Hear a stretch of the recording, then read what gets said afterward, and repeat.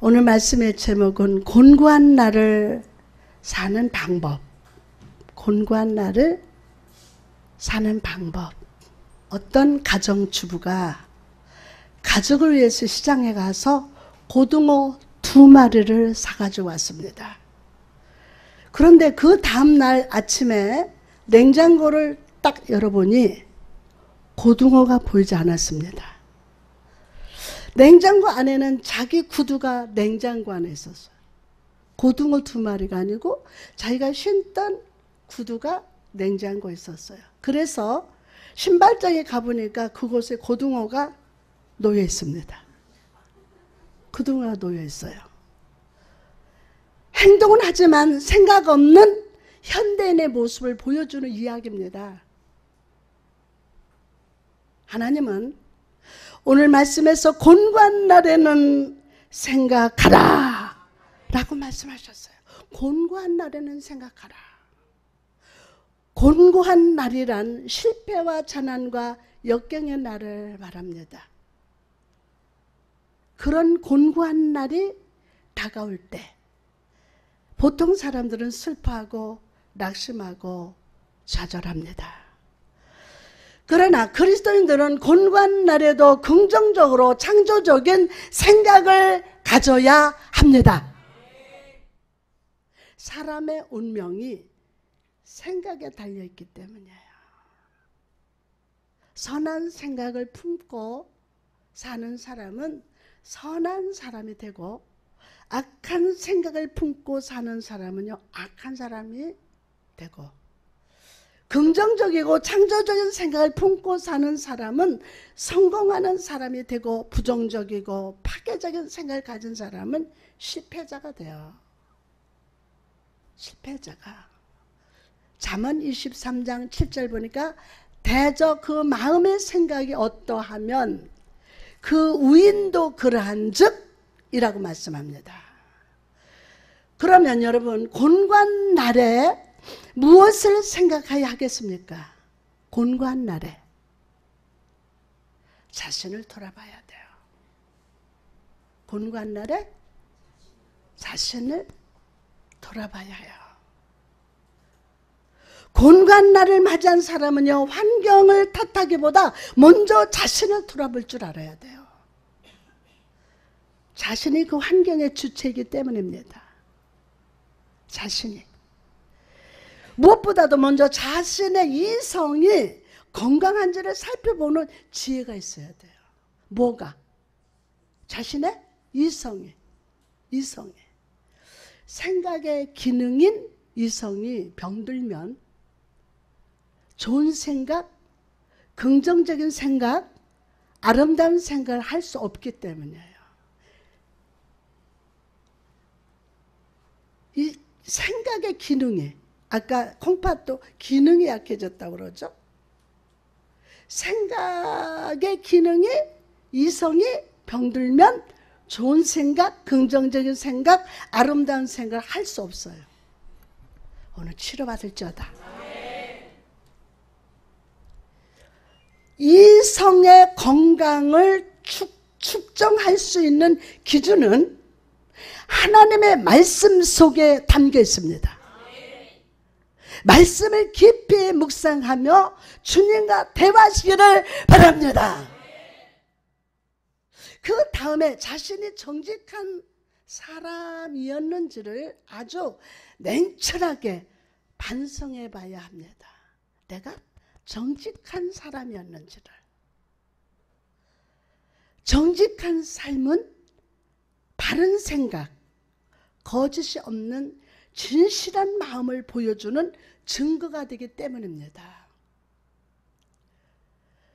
우리가 정직해야 할 이유는 첫째, 하나님 아버지께서 정직하신 분이기 때문이에요. 10편 25편 8절의 말씀 보니까 여호와는 선하시고 정직하시니 그러므로 그의 도로 죄인들을 교훈하시리로다. 여러분, 정직하신 하나님은 정직한 사람에게 복과 기업을 약속하셨어요. 지금도 하나님은요, 콩을 심은 데서 뭐가 나요? 콩이 나고 팥을 심은 데서 팥이 나는 이 자연 법칙을 통해서 정직의 결과를 보여주십니다. 정직한 그리스도인들은 자기 자신의 존재와 능력을 아주 겸허하게 받아들이면서 자신의 성공에 대해서 감사하게 되지만 부정적한 사람은요 자신의 능력을 과신하고 실패에 대해서 분노하면서 원망과 미움을 갖게 됩니다. 두 번째로 예수님으로부터 이 세상에서 소금과 빛으로 살아야 할 사명을 저와 여러분은 부여받았습니다. 너희는 세상의 소금과 빛이라. 마태복음 5장 13절에서 16절 말씀은 세상과 그리스도인과의 관계를 말씀하는 것이며 그 관계의 방향은 도덕적이고 영적인 기능을 의미합니다. 소금이 흔하고 천한 것이지만 생명을 주고 맛을 내며 썩음을 방지하는 능력이 있듯이 그리스도인은 정직한 삶을 통해서 이웃에게 삶의 의미를 주고 부패되어가는 세상을 썩지 않도록 지켜야 합니다. 누가? 예, 지켜야 돼요. 빛에는 생명을 주고 생명을 자라게 하는 능력이 있어요. 그래서 이 세상 모든 만물이 빛에 의존되어 있어요. 빛에. 그리고 빛은 동시에 심판적인 의미가 있어서 빛이 비치는 곳에서는 아름다움과 추한 모든 것이 아주 적나라하게 드러납니다. 적나라하게 드러나요. 이 세상의 빛은 그리스도에는 영적인 빛, 양심의 빛, 의로운 빛, 정직한 빛이 되어서 무지와 혼돈의 세상을 밝게 비춰야 합니다. 여러분 밝게 비춥시다. 그리스도인이 실명하여서 어둠을 박하지 못한다면 이미 영적인 곤고에 붙잡힌 것이기 때문이에요. 영적인 곤고에 썩어가는 이 세상에 한빛 되게 하소서.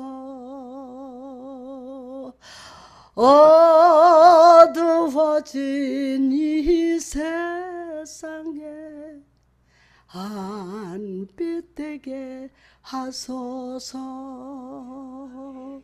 오늘 치유가 된다. 아멘. 자 마지막으로 최선을 다했는지를 생각해야 합니다. 최선을 다했는지. 최선은 집중력을 가질 때에 가능합니다. 그리고 집중력은 묵상을 통해서 힘을 얻습니다. 여러분 묵상은 깊이 생각하는 거예요. 깊이 생각하는 거예요. 오래 묵상하게 되면 마음이 뜨거워지고 지혜를 얻게 됩니다. 이 세상에는 깊이 묵상한 사람들이 큰 역사를 남겼습니다. 집중력을 가진 사람들이 큰일 했습니다. 여러분 오늘 하나님을 향해서 집중합시다. 집중. 위대한 지도자 모세는 하나님과 자기 만족의 장례를 놓고 깊이 생각을 했어요. 깊이 생각을 했어요. 바울도 다메섹에서 예수를 만난 후 아라비아 사막에서 3년 동안 깊이 묵상을 했습니다. 과학자 뉴턴은 사과가 나무에서 떨어지는 것을 보면서 그 이유를 깊이 생각하다가 만유 인력의 법칙을 발견을 했습니다.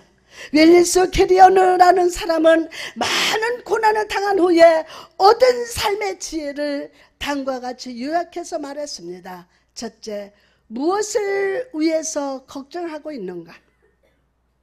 무엇을 위해서 걱정하고 있는가? 내가 무엇을 위해서 사는가? 나는 지금 무엇을 생각하고 있는가? 무엇을 염려하고 있는가를 깊이 생각하라. 라고 했습니다. 두 번째, 피할 수 없는 것이라면 하나님의 뜻으로 알고 수용하라. 다시 한번, 피할 수 없는 것이라면 하나님의 뜻으로 알고 수용하라. 세 번째, 깊이 생각하고 철저하게 생각하고 침착하게 현실에서 문을 찾아라. 무엇인가 길이 있다. 현재 여러분의 삶이 힘들고 고달파도 주님을 모시고 자신의 소위를 돌아보시기 바랍니다. 오늘의 축복을 받을 쪼다! 그리고 정직의 길을 걷고 고난 중에도 맡은 일에 최선을 다합시다. 최선을 다합시다. 고난 중에도 시험 중에도 실패 중에도 맡은 일에 최선을 다해야 돼. 맡은 일에. 고난 당하기 전에는 내가 그릇 행하였더니 이제는 주의 말씀을 지키나이다. 고난 당한 것이 내게 유익이라 이로 인해 내가 주의 윤리를 배우게 되었나이다. 라고 고백할 수 있을 것입니다. 인생이 힘들고 나날이 곤고하다면 예수님을 생각하고 또 생각합시다. 우리가 곤고한 날에 왜 예수님을 생각해야 합니까? 첫째로 전능하신 하나님이시기 때문에 하나님께는 창조와 섭리의 능력이 있습니다. 그래서 이 세상 만물을 선하고 아름답게 창조하셨습니다. 특히 하나님은 인간을 영적, 이성적 존재로 지으시고 생육하고 번성하여 땅에 충만하라. 땅을 정복하라. 바다의 고기와 공중의 새와 또 뭐있어요? 땅에 움직이는 모든 생물을 다스리라. 명령을 주셨어요. 아멘하고 받으세요. 명령을 주셨다고요. 그러나 첫사람 아담이 금단의 열매를 따먹고 범죄하게 되었으므로 죄와 모든 곤고가 이 세상에 들어오게 되었습니다. 결국 그들은 하나님의 사랑을 사랑으로 받지 못하고 간섭으로 여기다가 심판을 자초하게 된 것입니다. 그러나 하나님은 그들을 심판하신 후에 아주 버리지 않으셨어요.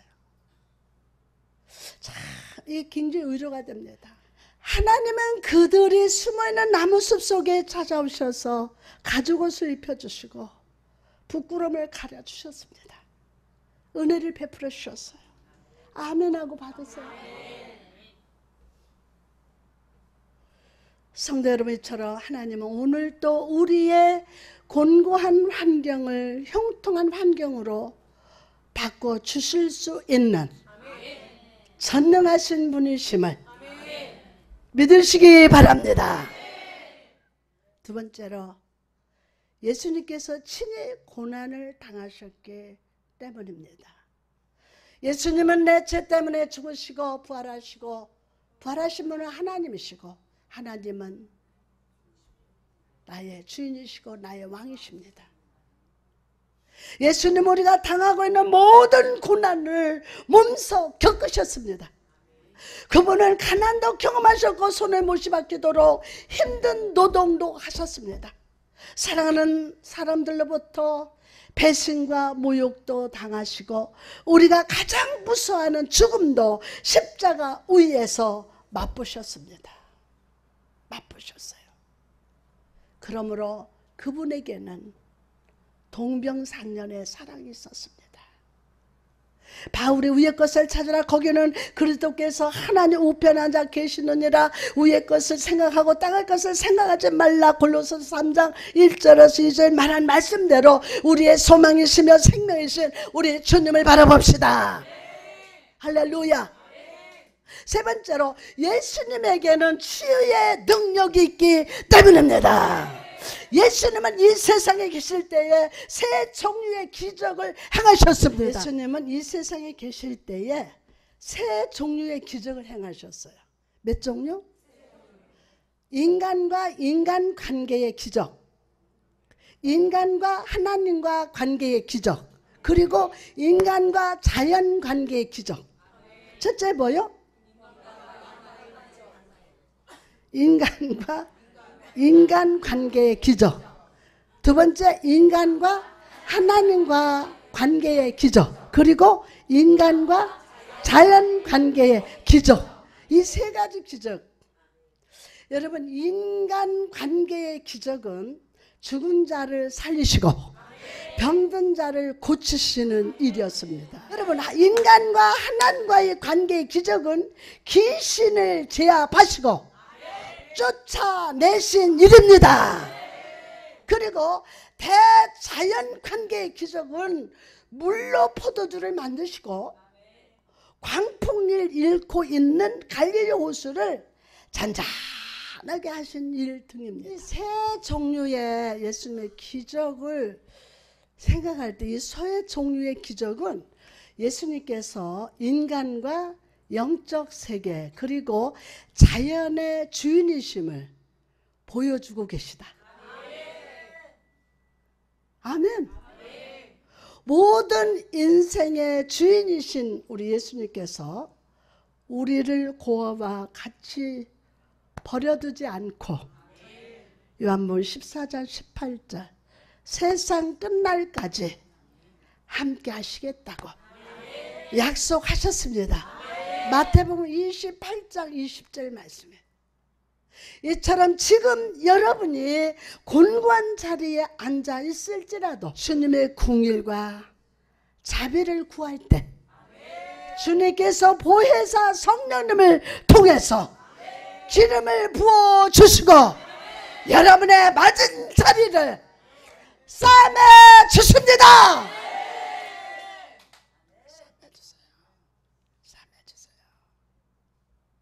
그리고 임마누엘의 은혜를 찬양케 하실 줄 믿습니다. 할렐루야. 회복의 은혜를 입고 요셉이 애굽의 총리가 될 수 있었어요. 임마누엘 하나님은 지금도 여러분의 삶의 현장에 함께 계시기를 원하십니다. 하나님이 함께 하시기만 하면 죽을 것이 살고 병든 것이 소생하고 절망의 희망으로 바뀌고 가난이 부유가 되며 땅의 것이 하늘의 것으로 바뀌어지는 놀란 은혜를 입게 됩니다. 그러므로 여러분 우리는 감사해야 합니다. 아멘. 그리 아니하실지라도 감사해야 합니다. 여러분은 생각이라는 영어 think와 감사다라는 단어의 think의 근원이 같다는 것을 아실 겁니다. 본문에 소개되고 있는 곤고한 날에는 생각하라는 말씀을 곤고한 날에는 감사라 라로 바꾸어서 읽는다면 여러분은 놀라운 변화의 체험이 있을 줄 믿습니다. 고통스러운 자리에서 감사하기는 쉽지 않습니다. 그러나 먼저 받은 은혜를 생각하며 감사합시다. 돌이켜보면 우리는 그동안 받은 것이 너무나도 많습니다. 부모님, 자녀, 가정, 직장, 사업, 재능, 물질 등 이 모든 것을 하나님께로부터 받았습니다. 받아서 좋은 가정에 태어난 것도 하나님께로부터 받았고 우리 청년이 마냥 변호사가 되는 것도 하나님께로부터 받았어요. 받은 것에 대해 감사할 수 있는 사람이 돼야 돼. 받은 것에 대해서 감사하는 마음이 열리게 되면 그 다음에는 극한 고난을 당한다 해도 하나님 뜻과 섭리를 깨닫게 되고 감사를 드릴 수 있습니다. 감사를 드릴 수 있어요. 깨닫고 드리는 감사를 그럼에도 불구하고 드리는 감사라고 말할 수 있습니다. 다시 한번 깨닫고 드리는 감사를 그럼에도 불구하고 드리는 감사라고 말할 수 있습니다. 건강을 잃었음에도 불구하고 직장을 잃었음에도 불구하고 사업에 실패를 했음에도 불구하고 감사할 수 있을 때 그 감사는 받았기 때문에 드리는 것보다 차원이 높은 감사가 됨을 믿읍시다. 지금 고난의 현장에 서 계신 여러분, 첫째, 이 세상에 있는 그 무엇과도 바꿀 수 없는 귀한 생명이 있음을 생각하십시오. 하나님은 부모님을 통해 천하보다 더 귀한 생명을 주셨고 예수님을 통해 영원한 새 생명을 주셨습니다. 주님은 사람이 만일 온천을 얻고도 제 목숨을 잃으면 무엇이 유익하리요? 사람이 무엇을 주고 제 목숨을 바꾸겠느냐? 마태복음 16장 26절에 말씀하셨습니다. 두 번째로 범사에 감사하는 것이 하나님의 뜻임을 기억하십시오.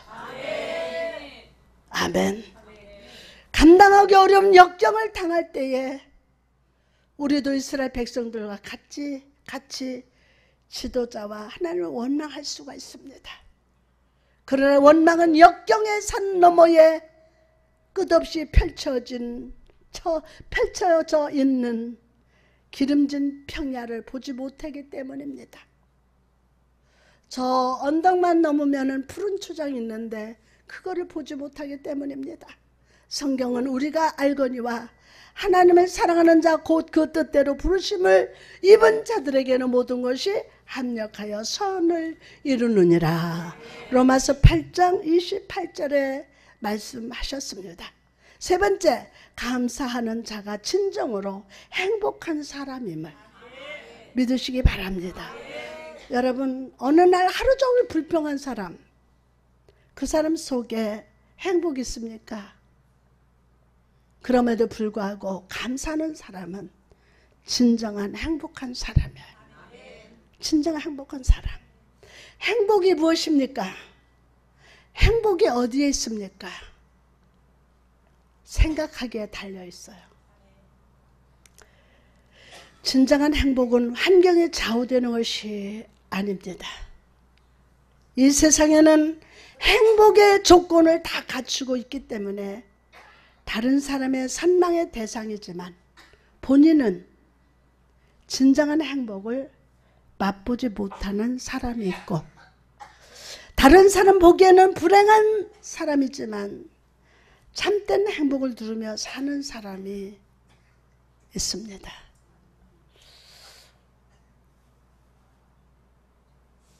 독일의 한 잡지사가 조사한 바에 의하면 전 세계에서 가장 행복해 산다고 고백하는 사람들은 방글라데시 사람들이라고 합니다. 그 나라는 지대가 낮기 때문에 매년 홍수로 인해서 수많은 사람 죽고 분쟁이 계속될 뿐만 아니라 기아로 죽어가는 사람들이 많다고 합니다. 그러나 그들은 자기들이 행복하다고 느끼고 산다는 거예요. 난 행복하다. 그 이유는 알라를 섬기고 는 신앙이 있기 때문이에요. 그들은 가난하지만 내세를 바라볼 수 있는 믿음을 가지고 있기 때문에 행복한 마음을 가질 수가 있는 거예요. 그러므로 행복은 잘 사는 것과 관계없습니다. 맞다고요. 오히려 반비례합니다. 그래서 잘 사는 선진국이 가난한 후진국보다 자살률이 높은 것입니다. 우리나라 와 정말 하나님 축복하셨어요. 근데 자살이 최고야.